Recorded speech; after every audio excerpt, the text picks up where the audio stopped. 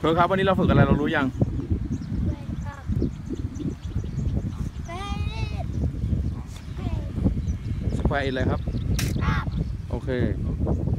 นะครับ ตอนนี้เราอยู่กับเอ่อ putting template นะครับ by อ่า VCO นะครับ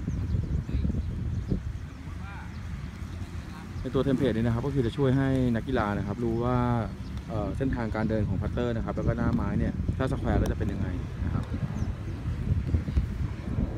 เหมือนเรากลับไปฝึกคัดตัวหนังสือกอไก่ใหม่นะครับ แต่ว่ามันจะทำให้เกิด visualize หรือว่าผู้เล่นเนี่ยสามารถที่จะรู้ได้นะครับว่า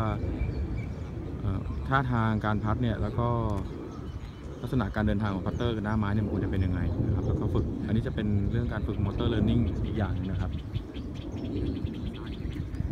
Kirk เป้าหมายคือputt ให้ผ่าน tee ข้างหน้าด้วยนะครับ แล้วก็แนวของ putter ให้มัน square ด้วยนะครับ ผ่านแบบไม่โดนสิครับ มาเอาใหม่เอาใหม่เอาใหม่